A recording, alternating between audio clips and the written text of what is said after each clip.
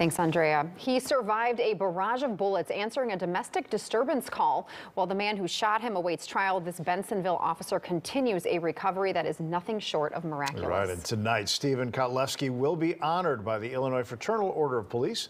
WGN's Patrick Elwood has more on a story you'll see only on WGN. Hey, what's up, man? What's up,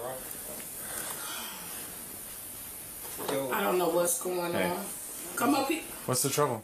It's been a little more than a year since Bensenville officer Steven Kotlewski was shot eight times responding to a domestic call. Inevitably. Mostly at night. I don't know why. These days, at night, his mind wanders back to that place and time.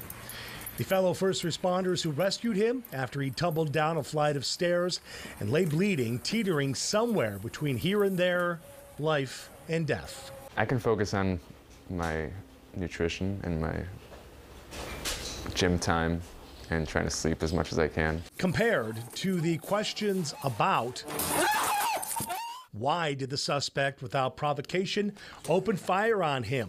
What he believes was plain and simple an ambush. Their home bathroom had to be retrofitted to accommodate the wheelchair he had to use, Got a fish. How about, can we catch that one? and his days are now filled with a lot more family time and a lot of therapy of different sorts psychological and physical, trying to get those legs and hips back to where they were and his mind right. Used to be every day from noon to 3. Now it's every other day from, geez, like 11 to 5 or 11 to 6. He is back to walking mostly, and in some ways, he says he is a better man than he was before he was shot. I'm a better man above the navel.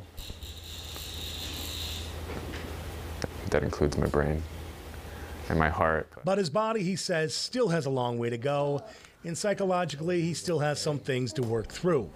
And when asked if he wants to one day go back to being a cop, Yeah. He says yes, quickly. But his wife has something to say about that, too.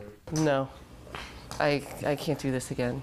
I it was a lot on me emotionally, physically, and I don't know if he'd survive it again. Like if the same thing happened, because he went through so much and so much surgery. It's just it's not good for your body, physically or mentally. So you guys got some things to work out. Yeah. Yeah. We'll leave it at that.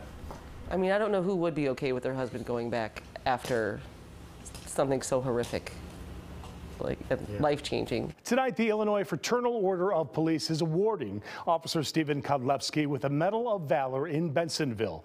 For that, he and his wife Crystal, they do agree that recognition they are very grateful for.